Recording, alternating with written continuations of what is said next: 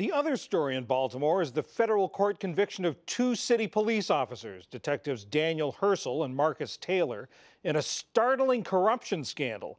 Six other officers have already pleaded guilty. For the details, we're joined by Jayne Miller, the lead investigative reporter for WBAL TV in Baltimore. She's covered this story from the beginning. Uh, Jayne, thanks so much for joining us. The charges uh, in the court yesterday were racketeering, racketeering conspiracy, and robbery, but that really doesn't do uh, tell give us the full breadth of what these guys did. What did they do?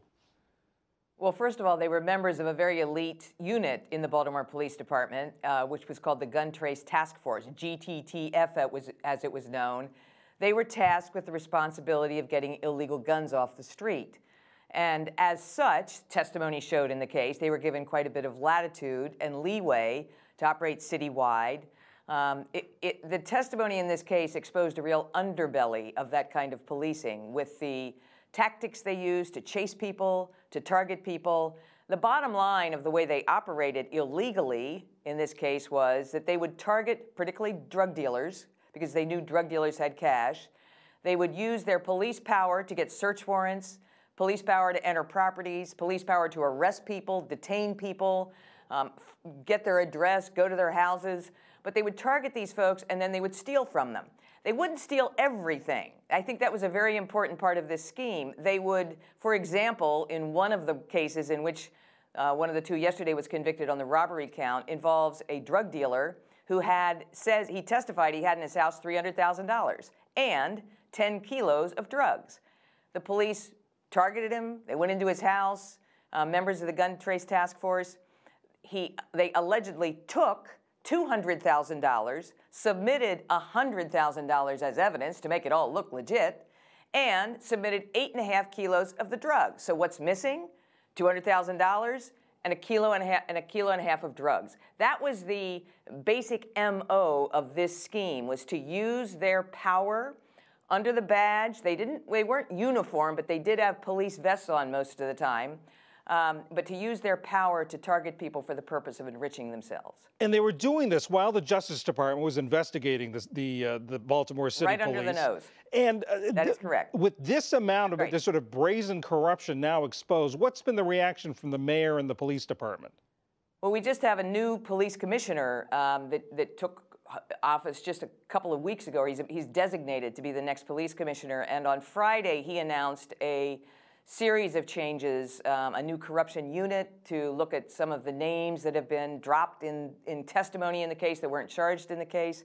He's looking at an overtime. The, the overtime fraud in this case was staggering in, in the ease with which these officers and detectives were able to steal overtime, in, able to cheat without supervision, without anybody blowing the whistle on them. Um, so he's forming a new overtime abuse unit. But I think beyond those those specific changes, the real debate that's going on now in Baltimore is whether there needs to be an entirely different structure of the Baltimore Police Department. I'm just doing a story today, for example, with a key city council member in Baltimore that's looking at Los Angeles, the model in, uh, in Los Angeles, where the police department is under the control of a board of commissioners, which also has the inspector general so that police don't investigate themselves.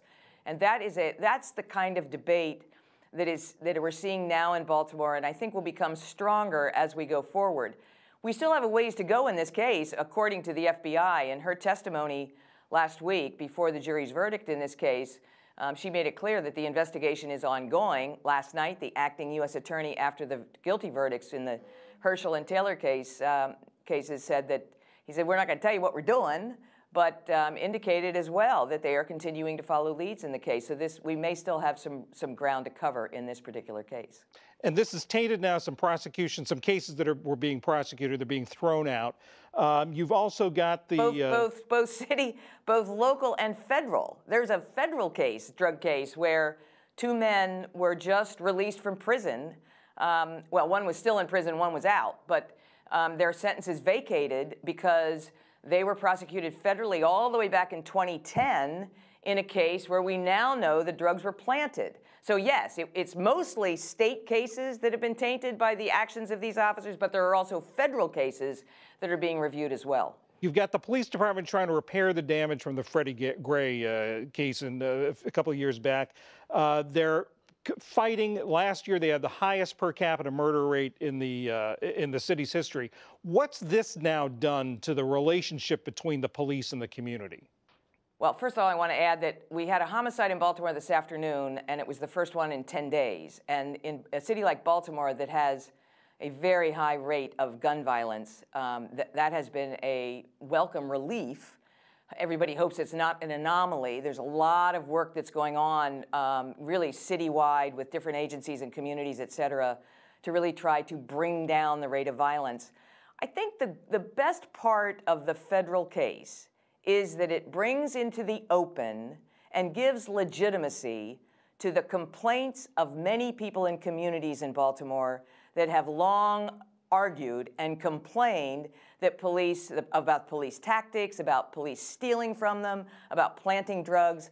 This federal case put all in one place allegations from drug dealers and from convicted police officers. That's the most important part of this case is that four of the convicted gun squad members testified for the government, which is where all these revelations came from of the activities of this unit. So in the end, you know, it, transparency is a good thing, and at least this case has brought legitimacy and into the public eye really the underbelly of policing.